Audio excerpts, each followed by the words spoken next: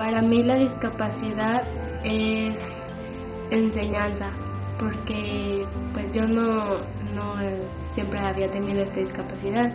Apenas dos, hace dos años fue cuando la tuve y me ha enseñado muchas cosas, a valorar la vida, a valorar todo lo que tengo y sobre todo a aprender de los demás.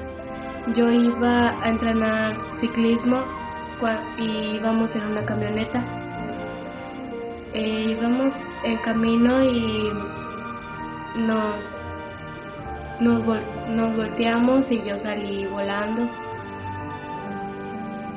Y fue como sucedió eso, me ocurrió dos hace dos años. Yo eh, me pasó el accidente, fue un cambio muy fuerte en mi familia.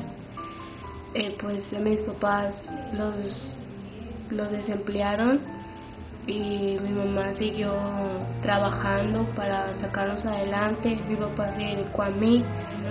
Esta asociación me parece muy, muy buena porque ayuda más que a dar ánimos, nos ayuda económicamente y puede, puede te dar mucho ánimo a que no eres la única persona con la que la que tienes una discapacidad, ves a muchas personas con una discapacidad no igual a la mía o a la de otras personas, pero ellos mismos te dan ánimo.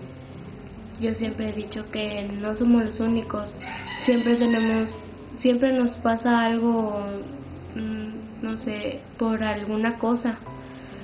Eh, siempre hay que tomar todo lo que nos la discapacidad como una enseñanza. No hay que vencernos, hay que seguir adelante. Sin, si te caes, hay que levantarte con más fuerza.